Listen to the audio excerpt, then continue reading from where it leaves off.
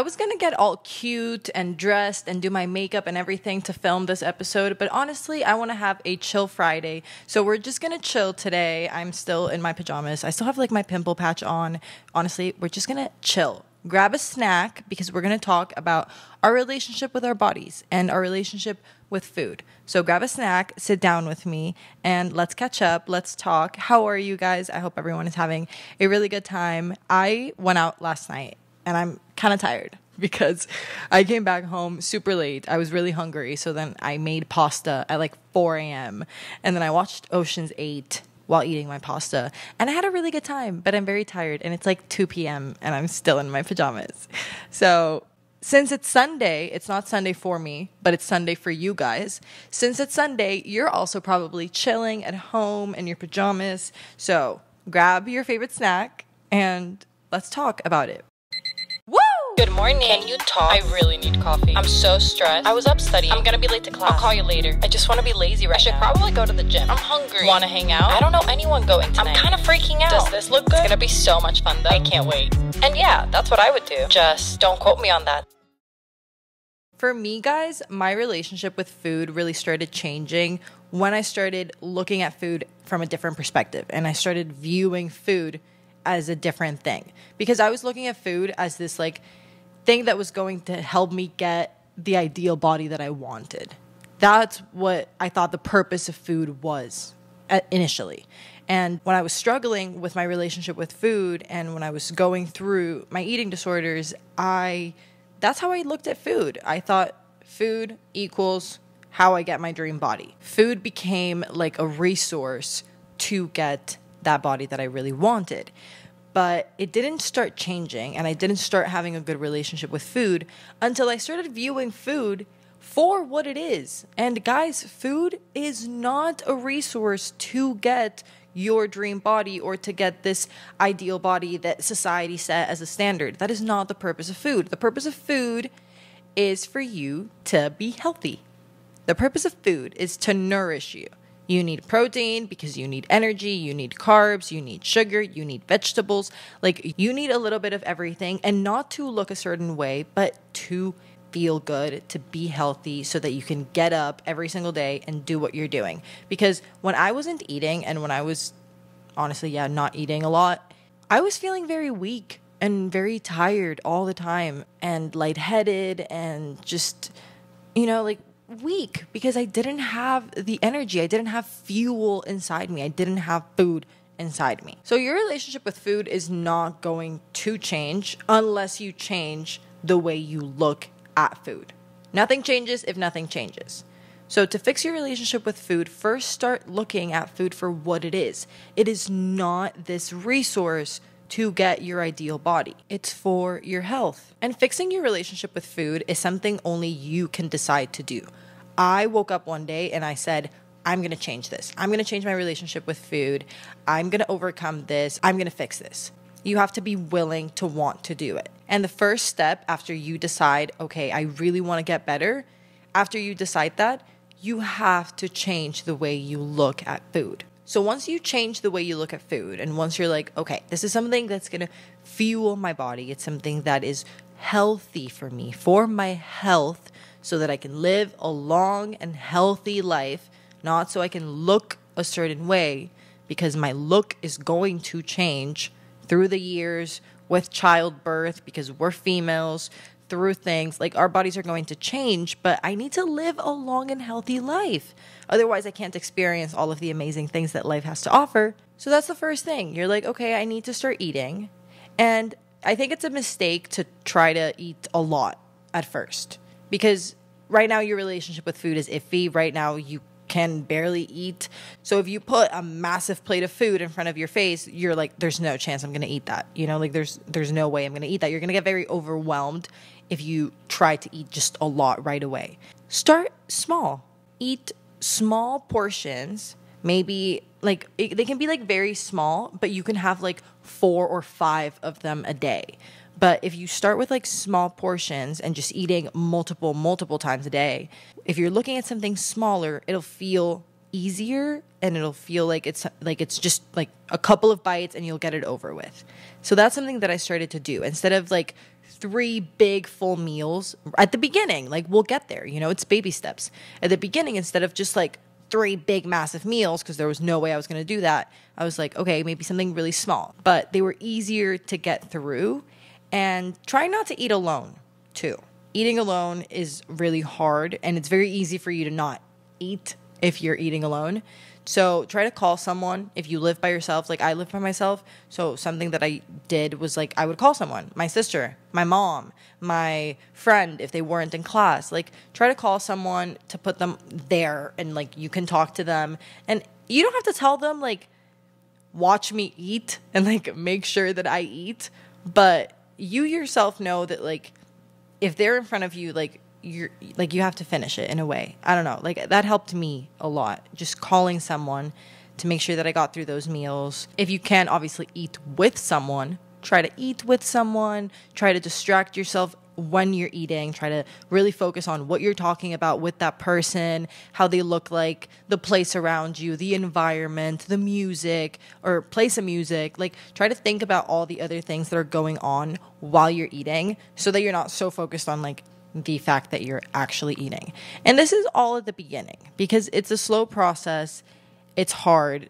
Don't try to rush it and like overwhelm yourself because it can easily just like backfire and then you go back to your old unhealthy habits and like your old mindsets. So start small, talk to someone, and then you'll progressively start increasing the amount of food that you eat in one plate.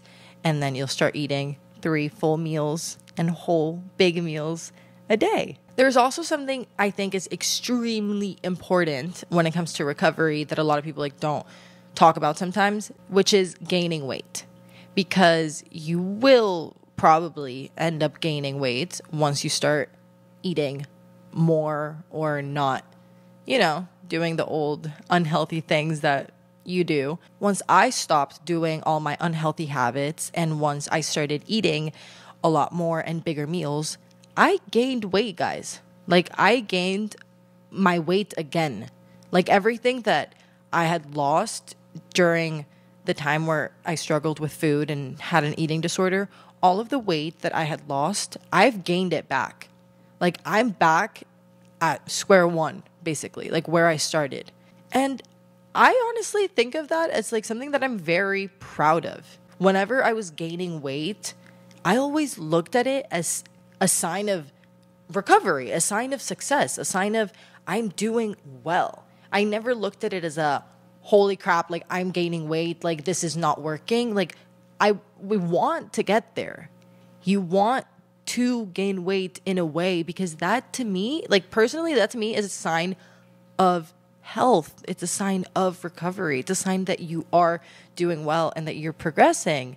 And honestly, guys, when you're going through recovery, that is probably the hardest part is being strong enough to watch yourself gain weight, to watch yourself lose that quote unquote like ideal body that you thought you had or that you were getting. And it, it's really hard. And it happened to me so many times where i started eating a lot again and i started gaining weight again and it happened a couple of times where i looked at myself in the mirror and i thought oh my god i gained weight and, and in a negative way you know like i thought like i like i gained weight like i'm going back to like like I'm gonna be ugly again and I'm gonna be fat again and I'm like I'm like I was scared. But it took a lot to be like it took a lot of strength to look at myself and even though I thought and I was gaining weight to think but this is a good thing. This is a good thing because that means I'm eating, which I wasn't before. This is good. This is progress. This is recovery once I started gaining that weight again, I did start eating healthier in general just because, like I said, I think the biggest thing that helped me with my relationship with food and still does to this day is shifting every single perspective and every single opinion that you have about food and about your body. You have to look at it in a completely different way, like a 180 in your head. And the biggest 180 was looking at food as something for my health, not something for looks. So once I did start gaining weight, I was also eating healthier. Like nowadays, I eat healthy. I still indulge in snacks and I eat desserts because I have a very sweet tooth. I love desserts and candy and snacks. So I will eat them whenever I'm craving them, but I don't eat like super unhealthy things every single day just because now I am concerned about my health in general. In general, I do want to take care of my health. I want to take care of my body as it is because I love my body, not because I want it to look good, just because I want to take care of it. And taking care of it means giving it healthy, nutritious food, but it also means giving it delicious food because I have one life and I want to enjoy it. I want to be able to eat that chocolate dessert that I'm never going to eat again and have a really good time at that restaurant with people and eat those french fries. But those things happen sporadically. But I'll indulge every once in a while. It's it's all a part of it. But no matter what I tell you, all of these tips and tricks and everything really comes down to shifting the mindset. You can't think of gaining weight as a sign of weakness and backtracking. You have to think of it as a sign of strength and recovery. And you have to be patient with yourself because it's not going to happen overnight. It's not something that it's super easily done. Like I said, it takes, like, it still happens. I still sometimes gain weight and still think, I, my God, I gained weight. Like, what am I going to do? Like, summer's coming up. I'm good now. Like, I'm on the other side of it. I don't have an eating disorder anymore. But we're always going to have to face moments of insecurity, moments where we think, maybe I shouldn't eat that dessert. Maybe I should eat a little bit less today. Oh my God, maybe I'm gaining weight. Those moments will forever happen. Those moments are going to keep happening. It's just a matter of, in that moment, reminding yourself of all the progress you've made, everything that you've done, that you've overcome, how far you've come, how good of a relationship that you have with food now. You can't let all of that go to waste. You have to be strong enough to keep fighting it. You have to remind yourself of that shift in perspective. You have to hug yourself and love your body because food is not for you to look a certain way. So if you look at yourself in the mirror and you're gaining weight and your body's changing and it's looking a different way, that's not a bad thing because of the food. That's a good thing because of the food. I also think it is important to talk to someone about it. I know it sucks because whenever people told me, like, hey, maybe you should eat a little bit more, I was like, what are you talking about? I'm fine. I hated it. I hated it. I hated it. Like, admitting it was horrible. Like I I could not admit it at all to my parents, to anyone. Like my friends would have to tell my parents and like my mom like, "Hey, she's not really eating. Like what do we do?" My friends would talk about it between them and like try to figure out like how to help me, but I would never admit it to you. Like they tried talking to me and I was like, "Nope. I'm fine." like I'm fine. So, honestly, it kind of starts there with first admitting it but but I had to wait for people to like really pull it out of me and people really like slap me across the face and be like, "Hey, you're not eating. Like wake up. Like you have an like we need to you have an issue with food. Like we need to you need help basically." I waited for it to get there. I would advise to talk to someone because you know, deep down you know you know that you're doing those things that you shouldn't be doing, or you know that you're skipping meals, you know that maybe you're wor- like working out extreme amounts. You know you're doing these things that you shouldn't be doing when it comes to food. So you know about your unhealthy relationship with food. You know about it. Don't deny it. On the contrary, if I were you, if I had to go through it again, I would go up to someone, someone that you're close with, your mom, siblings, a friend, someone that you can talk to and just tell them, like, hey, listen, like, I think I have an issue because I've been struggling a lot with my like relationship with food recently. You don't have to tell them everything that you've been doing exactly. You don't have to like disclose the details and everything, but just like make them aware and make them aware so they can keep an eye on you. They're going to help you through it. They want what's best for you, but they can't help you get there and they can't like keep an eye on you just to make sure that nothing bad happens to you because it can get bad. And so they can help you too, obviously. But it is important to like tell someone if you can. Just make them aware so you're not alone in this. It sucks even more having to be alone through your relationship with food and like through struggling with it. So recovery is already hard enough. You don't want to go through it alone. Trust me, nothing ever in life you want to go through alone. Like breakups, relationship with food, confidence, self esteem, depression, anxiety. Trust me, anything that you struggle with, it's better to go through it with someone. So try to find that one person that you can tell just so they can, like I said, keep tabs on you. Okay, how's your snack? What was your snack? Comment down below what you snacked, what you had while watching this episode. But I hope you enjoyed your snack because you deserve that snack.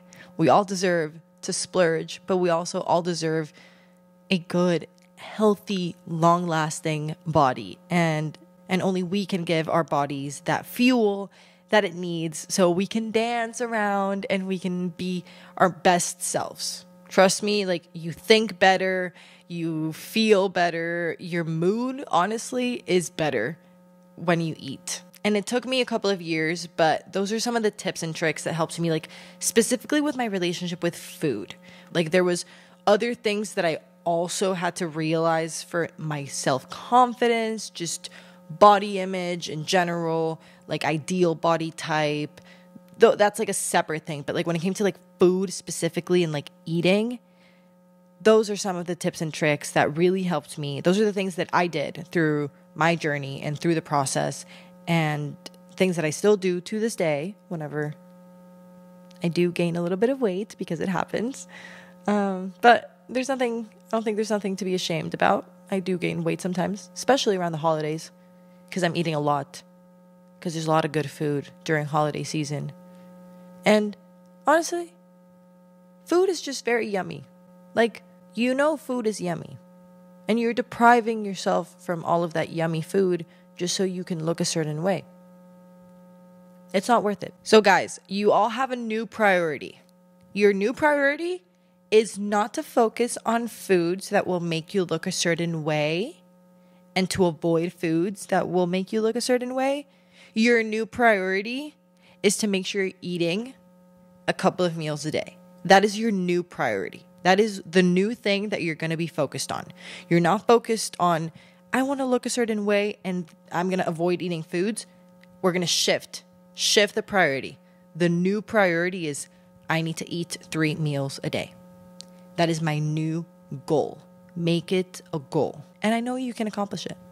You're strong enough to get there. You're strong enough to accomplish anything. Set your mind to it and you can do it. If I could do it, you can do it. Trust me. Speaking of, what time is it? Because I'm getting hungry. It's time for lunch, actually. I'm going to make lunch. Speaking of, I was getting hungry. I was like, oh, we're speaking, I'm talking so much about food that I'm getting hungry now. So I'm going to make something to eat. Also, backtrack. I hope you guys enjoyed the vlog for this week, but I'm gonna go make food because I am hungry. And then I have to go to the gym because I've been working out recently. It's honestly really good for your health. One, trust me, I've been on this like health grind. And then second, it also just really makes me happy. Like it like makes you like energized, happy, like the serotonin or endorphins, whatever it is. I don't know. Um, I don't know. I've just been really enjoying the gym. I'm gonna go to the gym and have a party tomorrow. I still have to do homework, whatever. but we're going to go to a party tomorrow, so stay tuned.